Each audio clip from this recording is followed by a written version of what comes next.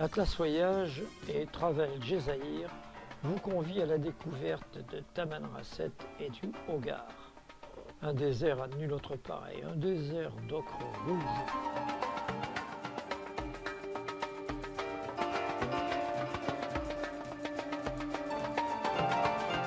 C'est un désert à nul autre pareil, un désert où les plaines butent sur des montagnes qui culminent à 3000 mètres de hauteur, le pays des hommes bleus.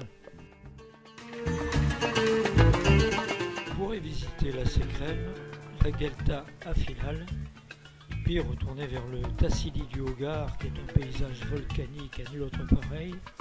Un arrêt est prévu très en hauteur à l'ermitage du père Charles de Foucault, avant un retour sur le plateau d'Agator.